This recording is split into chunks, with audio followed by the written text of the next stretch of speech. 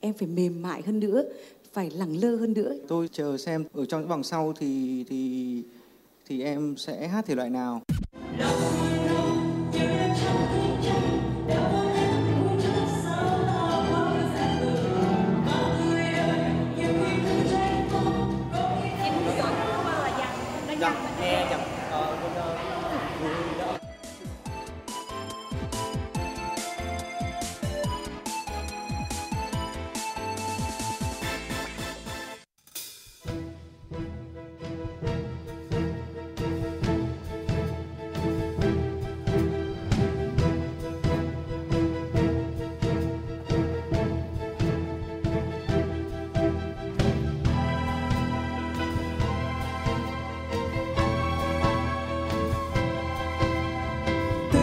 Xa ngày chìm trong những ngõ tối mới thấy tiếc, thấy nhớ đến bao phút vui qua rồi.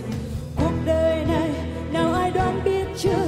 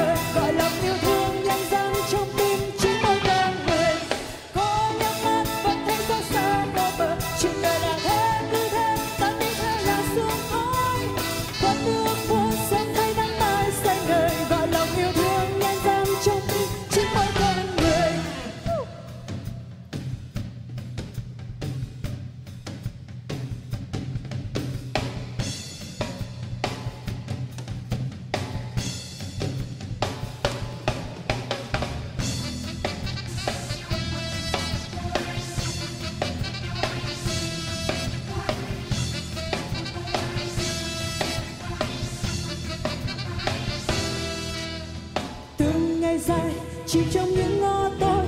Mới thấy tiếc hay nhớ đến bao phút vui qua rồi. Cuộc đời này, nào ai đoán biết chưa? Có những lúc chính ta cảm thấy xa thương đời ta.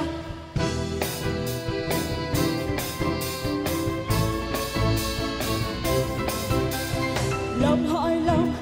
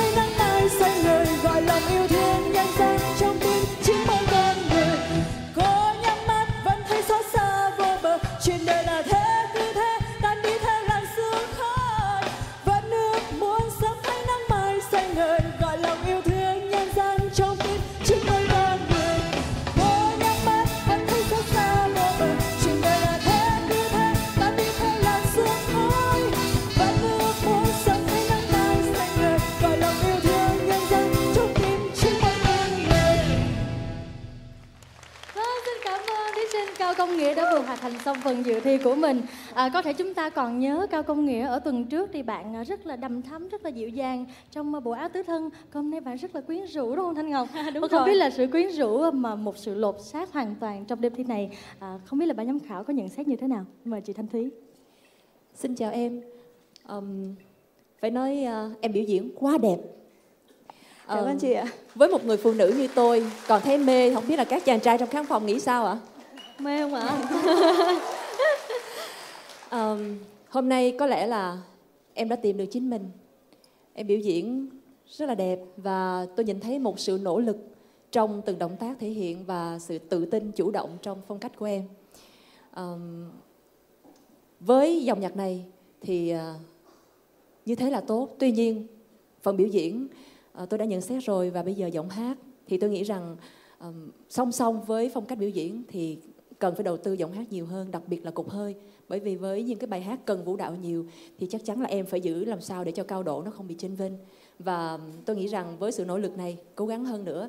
Trong khuôn khổ một phạm vi một cuộc thi như thế này mà em đã làm như vậy thì tôi tin là em đã thành công. Và tôi mong muốn rằng với sự nỗ lực nhiều hơn thì em sẽ đạt được nhiều thành công hơn nữa. Cảm ơn em. À, tiếp thêm lời chị Thúy thì chị nghĩ em có thể sau này em sẽ trở thành một người uh, ca sĩ giải trí à, em có vũ đạo đẹp nhưng mà chị cần hơn nữa đó là cái những cái động tác vũ đạo chị rất là thích nhảy. à, cho nên là chị hay để ý các cái động tác vũ đạo. à, em chưa có điểm dừng trong cái động tác của em và nếu mà khôn khéo hơn nữa thì em sẽ dùng những cái động tác vũ đạo đúng chỗ đúng lúc chứ từ đầu bài đến cuối bài làm thế thì sẽ rất là mệt bản thân chị hoặc là những như chị Thanh Lam chẳng hạn chị có cột hơi rất là chắc nhưng mà nhảy từ đầu bài đến cuối bài như thế thì sẽ làm cho cái bài hát của mình nó sẽ cái cột hơi của mình nó sẽ sẽ rất là ừ, chênh vênh. Chị nghĩ là như thế. Cho nên là em sẽ đòi hỏi em có sự khôn khéo hơn nữa trong cái cách ờ, dựng vũ đạo cũng như làm động tác theo các ờ, vũ công bên cạnh mình. Cảm ơn em. Dù sao hôm nay chị vẫn thích cái phần biểu diễn của em rất là nhiều. Vâng, xin cảm ơn ờ, nhạc sĩ Lưu Thi Gư rất nhiều.